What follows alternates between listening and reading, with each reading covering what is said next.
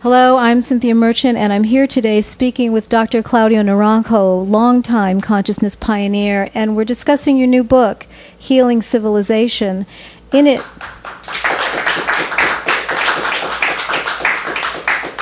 in it, you propose uh, changing education to change the world.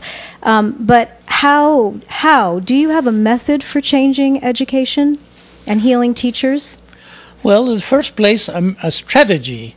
I don't think education can be changed by fiat and changing curricula. Mm. It needs to pass on, uh, just like life comes from life, consciousness comes from consciousness. You need mm. a different consciousness in the teachers. Mm. And for that, you need to educate teachers in a very way, different way from how they are being educated, educated today in such an, with such an academic emphasis, mm-hmm. so many years of word knowledge, uh, when the capacities, uh, abilities they need are, especially if it is, if we talk holistic education, mm. are very different.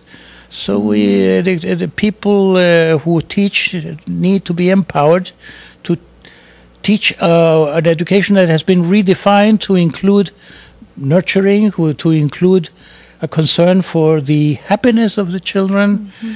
and uh, the corresponding abilities like spontaneity and uh, uh, all these qualities of love that we've talked about.